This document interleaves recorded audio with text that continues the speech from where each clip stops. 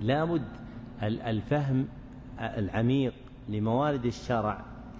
يجعل الإنسان يمتلئ بفهم الشريعة ويضع الأمور في نصابها.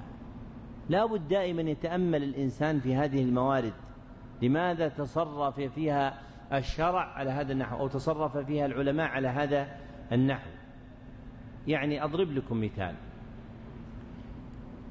تعرفون أن من جعل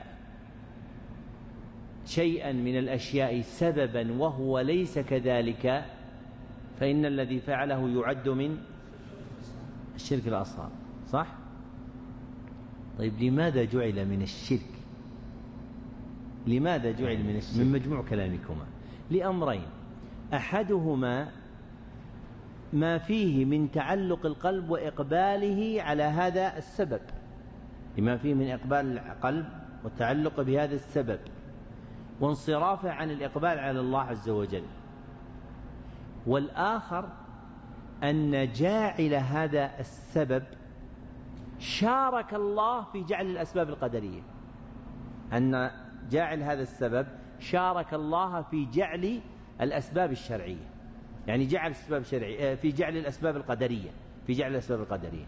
يعني مثلا الله جعل السحاب سببا لنزول المطر. هذا جعل الحلقة سببا لدفع البلاء. رأيتم لماذا؟ واقتصر على الثاني شيخنا ابن عثيمين رحمه الله. اقتصر على ذكر الثاني وهو فيهما الأمرين. لكن هنا أن تفهم غور المسألة. غور المسألة. هذا جعل جعل سببا كونيا وهو ليس كذلك. واضح؟ عد فعله شركا واضح عندكم؟ طيب من يجعل سببا شرعيا وليس كذلك؟ ما حكم فعله؟ يعني خلاصة المسألة جعل الأسباب القدرية يعد شركا أصغر وجعل الأسباب الشرعية يعد بدعة. موجب التفريق ها محمد؟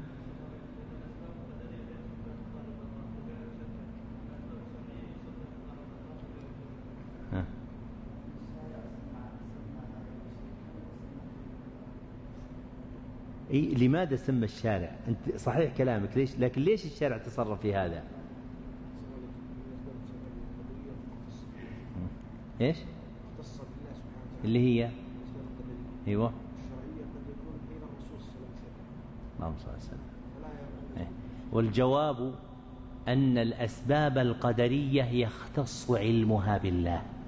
أن الأسباب القدرية يختص علمها بالله.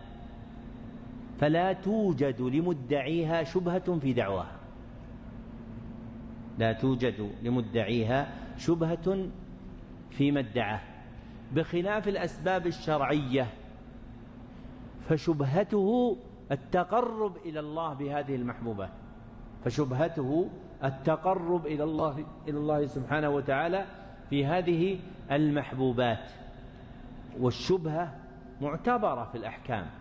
ويذكرون هذا في تأثيرها في أسماء الدين مثل التكفير والتبديع وغيرها. أإنما أردت هذا مثالا لنرجع إلى أصل المسألة وهو أن الشرع جعل الدعاء عبادة لأن مدار الدعاء في كلام العرب هو على الطلب والسؤال. لأن مدار الدعاء في كلام العرب على الدعاء على الطلب والسؤال. فالداعي لله بحاله أو قاله هو يطلب منه ويسأله. فالداعي لله بحاله أو قاله هو يطلب من الله ويسأله. وهذه هي حقيقة عبادته. وهذه هي حقيقة عبادته. فحقيقة العبادة خضوع العبد ومحبته لله. وهذا الخضوع والمحبة يستدعي أن يطلب من الله.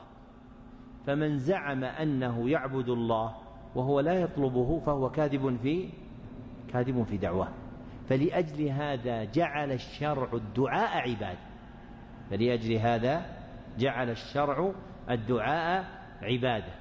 فصار قول المصنف لا يشرك معه أحد في عبادته مطابق للآية التي ذكرها لما تقدم من أن الدعاء هو العبادة.